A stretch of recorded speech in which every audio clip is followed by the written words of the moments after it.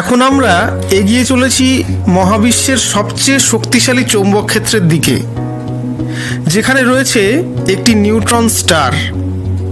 Neutron স্টারটির নাম magnetar four U zero one four two plus six one. এটি পৃথিবী থেকে তেরো হাজার আলোকবর্ষ দূরে ক্যাসিওপিয়া নক্ষত্র মণ্ডলে অবস্থিত। নিউট্রন স্টারটির একটি শক্ত পৃষ্ঠ রয়েছে এবং এর কোনো বায়ুমণ্ডল নেই। তবে বিজ্ঞানীরা মনে করেন যে এর চৌম্বক ক্ষেত্রটি এতটাই শক্তিশালী যে যদি এর চারপাশে বায়ুমণ্ডল থাকে, তাহলে এই নিউট্রন স্টারটি ওই বায়ুমণ্ডলকে কঠিন বা তরলে পরিণত করতে পারে। এমনকি আলো যখন এই অঞ্চলটির ওপর দিয়ে পাস করে, তখন সেই আলো পোলারাইজড হয়ে যায়।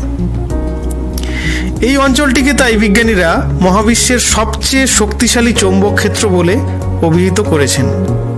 মহাকাশের এই অদ্ভুত স্থানটি আবিষ্কার করেছে নাসার imaging X ray polarimetry explorer বা সংক্ষেপে আইএক্সপিই এটি একটি এক্স রে টেলিস্কোপ যা পৃথিবীর বিষুবরেখার ওপর অবস্থান করে পাঁচশো পঁচানব্বই কিলোমিটার প্রদক্ষিণ করে।